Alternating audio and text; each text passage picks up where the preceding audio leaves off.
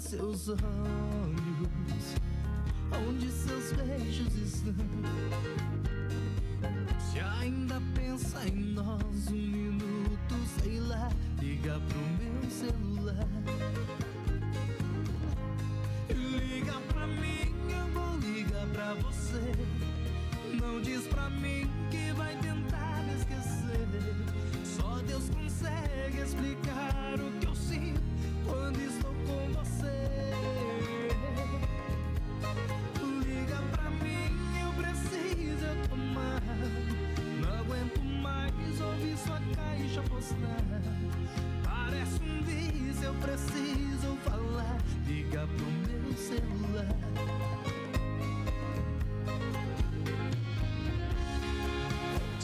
Com o SBT e você, atração nacional aqui no programa de hoje, Alisson Rodrigues. Ele que tem música na novela Carinha de Anjo, que é aqui do SBT. Daqui a pouquinho tem mais música.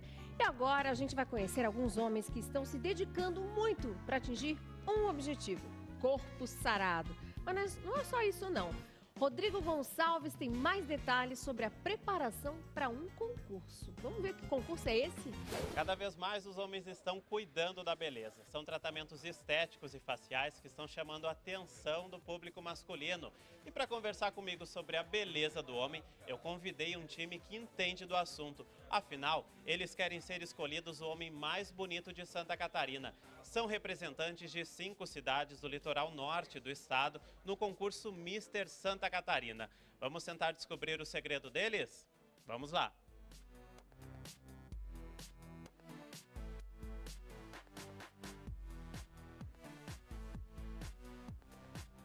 Para começar esse bate-papo, então, vou perguntar para eles o que, que é beleza para um mister. Como que deve ser o homem que vai ser escolhido mais bonito aqui do estado de Santa Catarina? Vamos começar aqui com o mister Itapema. Olá, tudo bem? Eu acho que a beleza, ela é uma beleza, tem que ter uma beleza, claro, por fora, mas tem que ter uma beleza por dentro. Ela tem que ter uma beleza com propósito. A pessoa tem que ter um conjunto de todas as coisas para ser considerada uma pessoa, o homem mais bonito, né, de toda Santa Catarina ou talvez Brasil. É um conjunto de todas as belezas que a gente possui, né? Vocês estão se preparando aí para um concurso estadual, mas quando que começou esse interesse por cuidar do corpo, por cuidar da beleza? Foi específico para o concurso ou você já tinha essa rotina diária e antes de querer participar? Eu sempre gostei de treinar, fazer academia, pois o meu sonho era sempre participar de algum concurso de beleza, mister ou qualquer um outro. Então, sempre desde os 17, 18 anos, cuidei do meu corpo, cuidei da minha alimentação, estética principalmente, porque precisa muito cuidar do rosto e tudo mais. Então, Antes de me tornar mister, a gen- a gente sempre acaba cuidando um pouco mais do que a gente já cuidava antes. Claro que sempre tem alguns cuidados especiais, mas os meus cuidados também já vêm de antes do, do concurso. Bom, agora vamos tentar descobrir um segredo deles, como é que está sendo esse cuidado, a alimentação especial, a rotina de exercícios, como é que é? Vamos conversar aqui com o Mr. Bombinhas. Então, ah, a corrida faz muita diferença no nosso corpo, certo? A academia faz a diferença, aumenta o cuidado. A gente tem, eu pelo menos eu faço um crossfit depois da academia, tento fazer duas vezes na semana um crossfit porque acaba dando uma diferença no teu corpo, um resultado mais avançado que a academia. Então, a minha preparação também é diária. É, academia, dieta, eu tô agora me alimentando melhor, né, para chegar no mês de junho com, com tudo, assim, com o corpo tudo em cima. Agora quero perguntar, vocês ainda sentem algum preconceito por estarem participando de um concurso de beleza masculino? Eu acredito que da minha parte não, eu tenho sentido bastante apoio das, das pessoas, elas só tenho escutado coisas boas também e eu acredito que o preconceito, eu acho que não tem mais, não existe mais muito preconceito quanto à beleza masculina e a concursos masculinos. Conceito ele não tem, mas tem aquelas brincadeiras dos amigos, dá aquela zoada em ti e tudo mais, mas tem que saber levar, porque tu tá participando de um concurso, a tua cidade está te apoiando, mas tem aquele teu amigo que sempre vai dar uma brincada contigo, tem que saber relevar isso, senão tu vai acabar sofrendo um certo preconceito da tua parte mesmo, então tem que relevar e brincar. Levar na esportiva, né? É o mais importante, então. E agora, para quem está aí em casa nos assistindo e quer começar a ter um cuidado com o corpo, não digo para participar de um concurso, né? Mas só para ter aquela estética legal. Eu quero que vocês aqui deem dicas para o pessoal de casa por onde começar. Quem quer ter um cuidado a partir de hoje? Começar por onde? Qual exercício, alimentação, cuidado com a pele? Qual o primeiro passo que o pessoal de casa tem que dar aí para iniciar esse cuidado com a beleza? Eu acho que o primeiro passo de todos é ter, ter vontade, é ter muita, muita vontade de fazer isso, né? E realmente é muito treino, é dedicação, é paciência.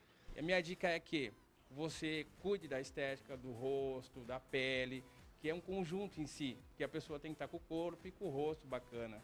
E depois vai, ao tempo, vai ganhando mais conhecimento, vai se aperfeiçoando nas técnicas da musculação, que é muito gostoso e é bom porque você se sente mais seguro botando uma roupa, usando uma sunga e ver os elogios das pessoas.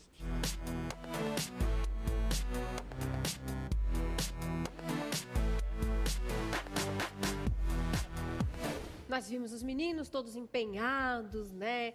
Fazem muitas coisas para estarem perfeitos naquele dia D que é o do concurso. E agora a gente vai falar de outros homens que parecem perfeitos pra gente, né? Diante das revistas, do cinema, das telas, que são as celebridades, Caio. Quem ligou a televisão agora, estou com o Caio Cavicchioli, é, ele que é especialista em comportamento e estilo. Caio, vamos falar de homens que são referências? Vamos, Vamos começar com o prata da casa, pode ser? sem dúvida.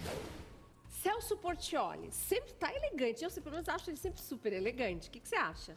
Sim, o Celso Portioli, ele vem da escola do patrão, não é? Que depois a gente vai falar também. Olha lá, Então, o Celso lá. Portioli. É, ele, ele começou com os ternos clássicos, não é? Os ternos clássicos, nada de muita alfaiataria, nada de modinha, ou simplesmente o clássico. E partiu para depois camisas de manga longa. E hoje ele faz vários programas, quando é programa mais jovem, com as camisas polos, não é? Que é uma tendência mundial que é muito prática. Tipo, você abre o guarda-roupa, você tá com aquela. Você tá mais feliz, mais triste, põe uma cor mais alegre, uma cor lisa, uma cor estampada. E a camisa polo você tá elegante para o dia a dia, né? E o Celso colocou essa, essa moda da, da camisa polo na TV e, e hoje a gente vê em várias outras emissoras, em vários outros programas, ah, ah, também usando né, a, a camisa polo. E agora aí do Lutim, as meninas piram. Luan Santana, ele tá sempre criando uma modinha, né? É, eu, eu penso que o Luan Santana tem um, um- um bom assessor ou assessora de imagem. Já pesquisei muito para descobrir quem é e para conversar com essa pessoa e não descobri. Porque ele, de acordo com o, o CD que ele lança, com a música que ele lança, com o sucesso que ele faz, ele está criando um, um estilo dele. Eu já conversei muito com o personal dele e com a nutricionista dele na forma de a parte física, né? Mas a parte de roupa ainda é um, é um mistério. Ele não revela quem que cuida dessa Mas parte. ele tem uma preparação física. Eu notei que ele mudou, né? Sim, ele mudou. Ele- o personal trainer dele mora com ele. Ele tinha aquele um corpo normal e de repente o mercado acaba exigindo, não é?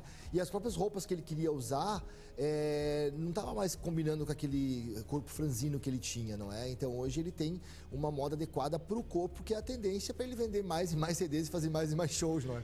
Caio, o que você tem a dizer do Silvio Santos? Ah, o, o Sil- o Silvio Santos simplesmente ele mudou o jeito de se vestir no Brasil, não é? Ele trouxe para os domingos o terno, não é?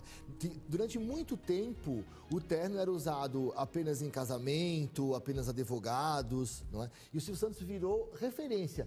Tanto que era. se virou até um- uma gíria, digamos assim, uma, uma, uma expressão coloquial. Ah, como é que se vai vestido nessa tua festa? Pode ir de Silvio Santos né? Como se usa no convite hoje o passeio completo, né? que é o terno, o passeio completo escuro, que é o terno escuro, não é?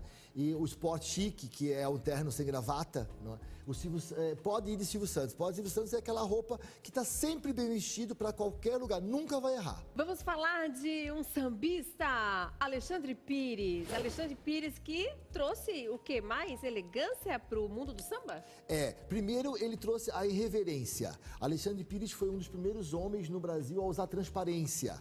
Quem não lembra dele no tempo do SPC, porque ele fez SPC, foi carreira solo e voltou ao SPC, né?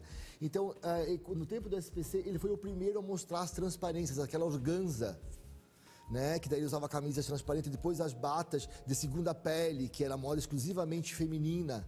O Alexandre Pires começou a usar. Depois que ele se apresentou na Casa Branca, que ele cantou para o presidente norte-americano, com um terno, ele começou a se apresentar de terno. Quer dizer, foi o primeiro sambista a se apresentar de terno clássico. Não aqueles ternos, claro, dos sambistas da, do Rio de Janeiro, né, que fazia aquela linha o malandro carioca. Não, os ternos realmente clá- clássicos de alfaiataria. O Alexandre Pires é uma referência, tanto de beleza física, como de cuidados com o cabelo. Ele mostrou tendências, né, para o próprio biotipo para as pessoas que têm o biotipo dele, as- os designs de sobrancelha, o tratamento de pele. E ele realmente é uma referência de estilo e comportamento e moda. Falamos de tantas referências. Dá vontade de ficar a tarde inteira falando de todo mundo, né? A gente vai fazer uma pausinha aqui rapidinho no nosso bate-papo sobre celebridades masculinas. Mas a gente vai descobrir agora mais sobre o assunto que eu falei agora há pouco sobre a patinação. No começo do programa eu mostrei os benefícios da patinação e agora vamos descobrir mais sobre a patinação artística. E claro, eu me aventurei com os patins. Olha a situação. Os atletas impressionam em acrobacias variadas, numa espécie de coreografia. Tudo é muito lindo e sincronizado.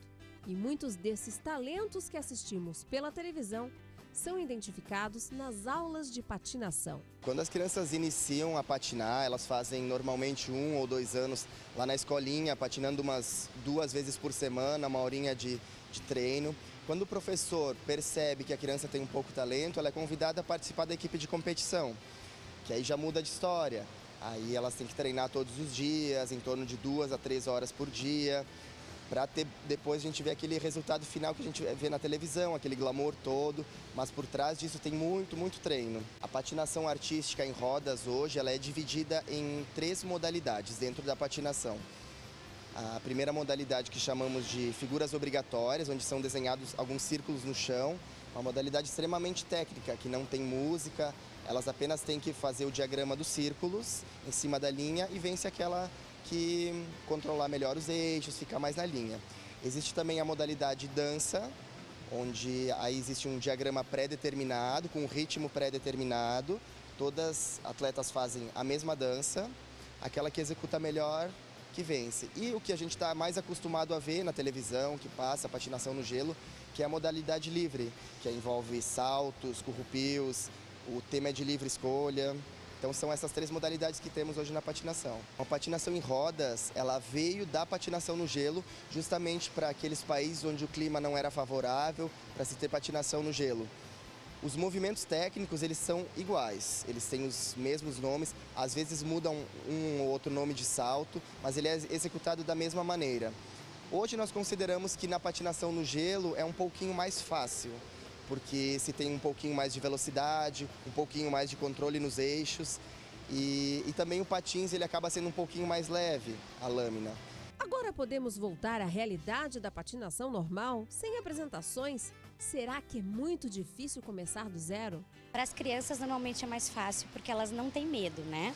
Para os adultos, que normalmente a gente dá aula também aqui para adulto, uh, é essa coisa assim de começar, né? Eu patinei quando eu era criança, eu estou há 20 anos sem patinar e agora tenho que iniciar novamente, né?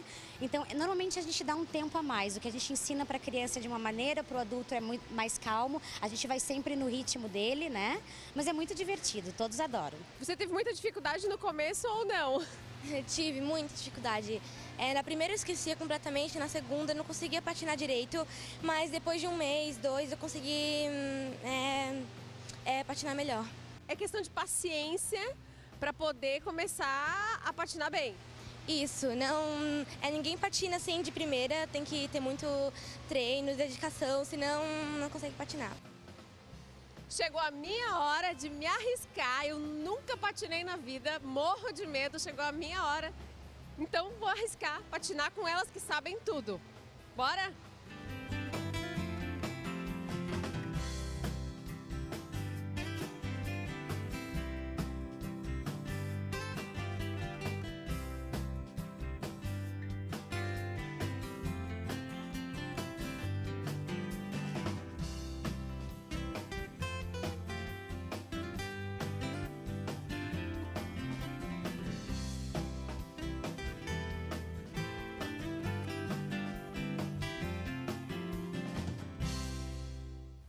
Que aventura, gente. Eu fiquei me segurando o tempo inteiro tentando não cair. Não é fácil não, hein?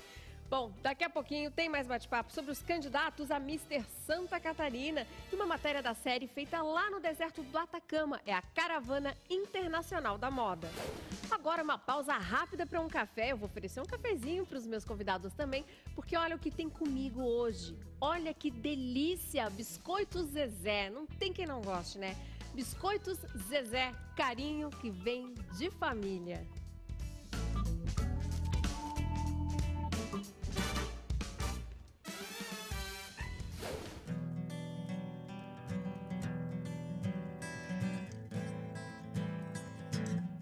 Com vocês, o meu músico Maurício Paz. Não vejo mais você faz quanto tempo? Que vontade que eu sinto de olhar em teus olhos, ganhar seus abraços. É verdade, eu não minto. E nesse desespero em que eu me vejo, já cheguei a tal ponto de me trocar diversas vezes por você, só pra ver se te encontro. Você só mais uma vez me aceitar. Prometo agora vou fazer por onde nunca mais perdê-la. E agora que faço eu da vida sem você? Você não me ensinou a te esquecer. Você só me ensinou a te querer. E te querendo vou tentando me encontrar. Vou me perdendo, buscando em outros braços meus abraços.